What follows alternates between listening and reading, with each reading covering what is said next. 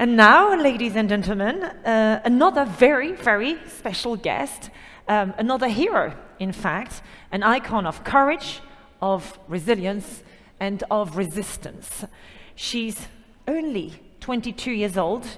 She's also an athlete, um, but sadly, she is not allowed to pursue her career in her own country.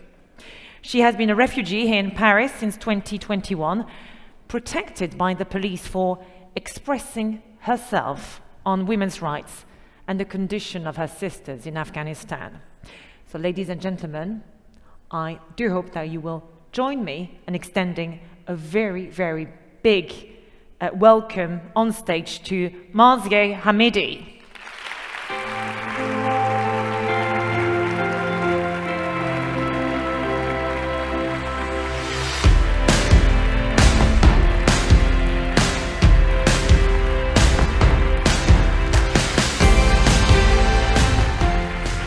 Thank you so much for joining us.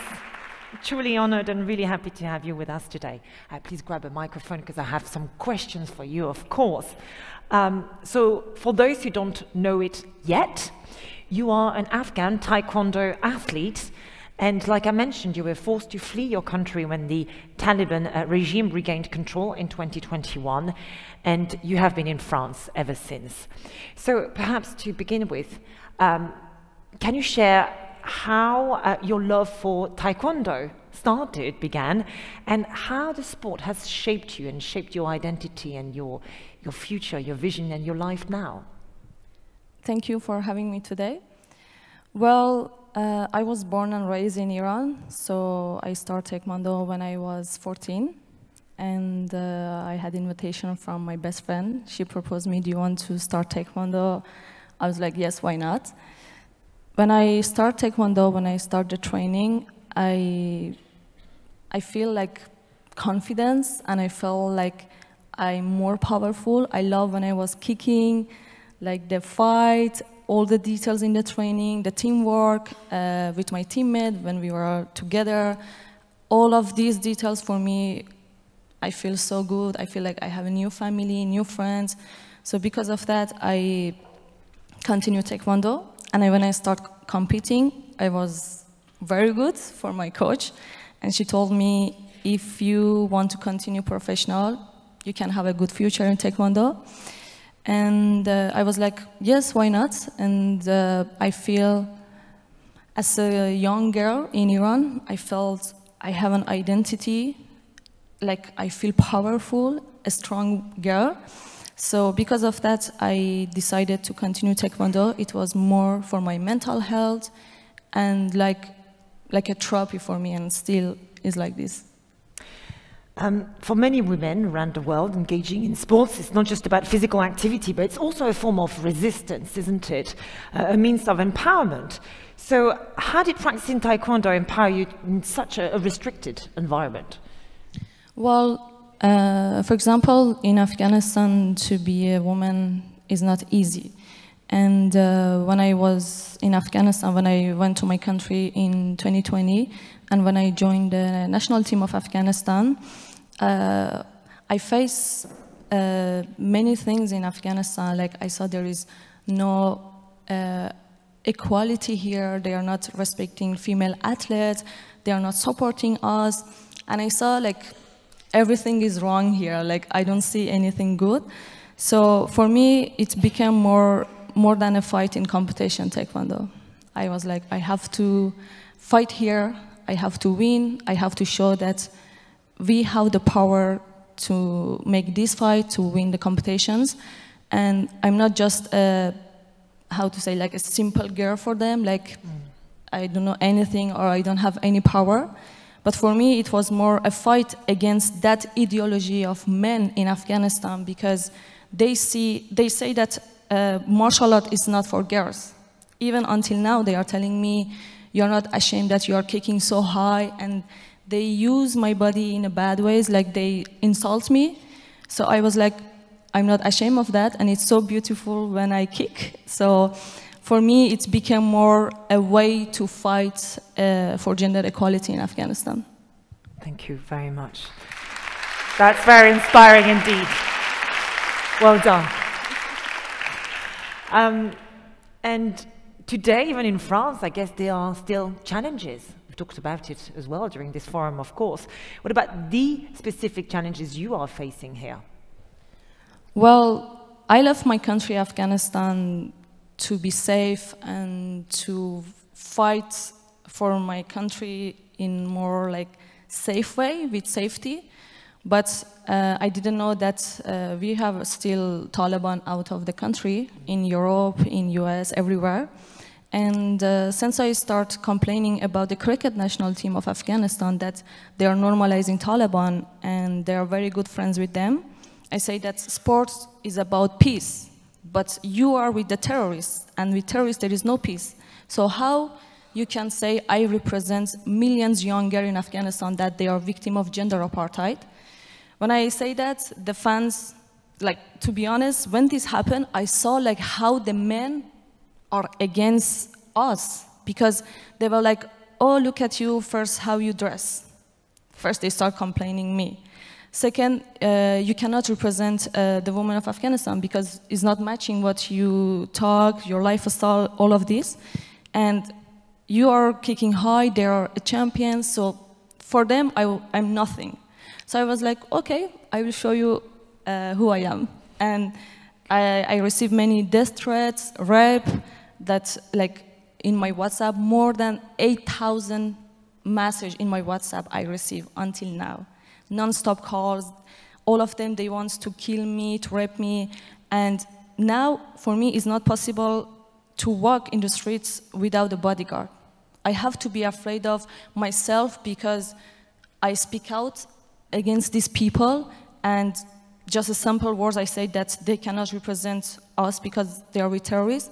And now I, that paid, that cost my safety, my freedom. I'm not free like before Uh, I was in Paris.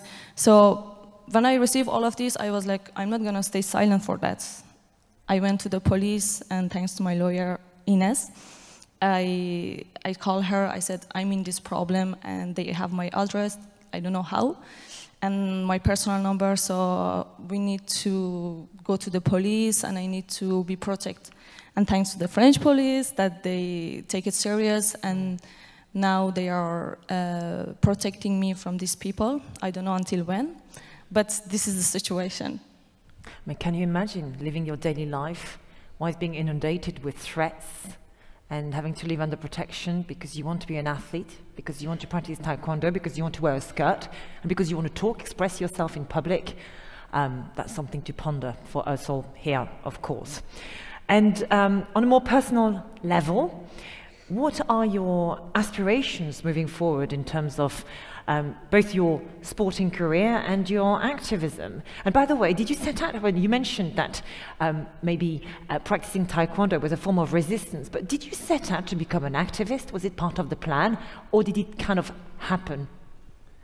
I think uh, all the young girls from Afghanistan, if they are doing something that is illegal now, it's a fight, they are activists. And for me, uh, when I when I well, when I went to my country, Afghanistan, when I saw okay, what's going on here for the women, like we don't have, like they don't respect us. You automatically become an activist if you really believe your values. That you have you have you deserve to be free. So for me, this just like coming from my heart and I was like, no, it's, it's not going to work like this. You know, I, I should have more uh, opportunity than you because of what history is telling about Afghanistan because always women are victim. So for me, it's all automatic and even now it's very hard for me because of what's going on and even it's hard for me to focus in my sport. But I always keep telling myself that there are millions girls in Afghanistan stuck and they are waiting for me and for us to be their voice because they are voiceless and they are uh, under the terrorist regime, the rules that it's so horrible. So for me, it's always my mother that she inspired me to keep going because of her and because of my sisters in Afghanistan, the young girls. They are my inspiration, and uh, I will keep fighting until we can see some results. Fantastic. Thank you for that.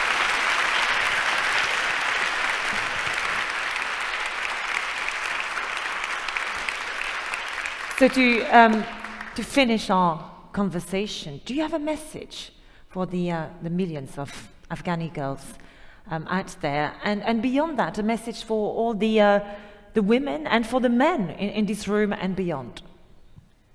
Well, um, my message to the young girls in Afghanistan, I don't know what I can say because it's so bad situation and what I can say there, I, I can say like be strong.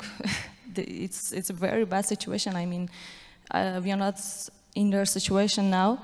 I just can tell them that uh, this will end one day because we started fighting and we will see one day the results. And I want to say everyone in this room and to the world that let's unite against gender apartheid in Afghanistan because what's going on now in Afghanistan is gender apartheid. And the world should recognize gender apartheid as a crime against humanity. And I hope all we fight for that until uh, women in Afghanistan are free. Thank you. Wow. Thank you for that.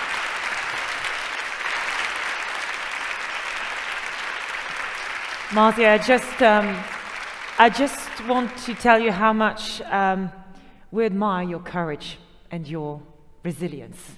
It's really, truly inspiring, and how delighted we are that you were able to join us today and share all your vibrancy and all your dreams. Uh, and your smile with us. It's absolutely wonderful. Ladies and gentlemen, a big round of applause for our guest. And yes, why not a stand up ovation because that's very much deserved. Thank you so much. Come on. For you, Marzi, and all your sisters, of course, back home in Afghanistan.